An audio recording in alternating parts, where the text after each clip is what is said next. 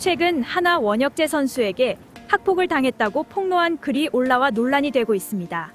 실명을 밝힌 피해자는 현역 프로야구 선수인 원혁재를 포함해 동급생들에게 폭행을 당했고 담임 교사는 수습하기는커녕 오히려 추행에 가까운 학대를 했다고 주장했는데요.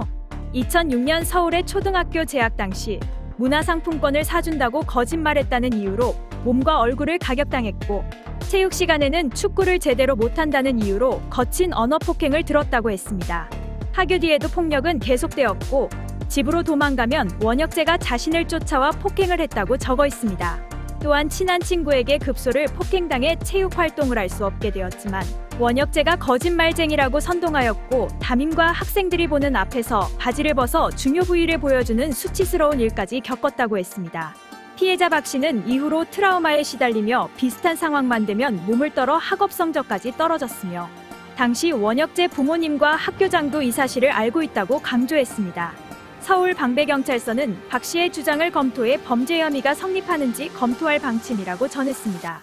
지금까지 야구 전문 뉴스 MLB 센터였습니다.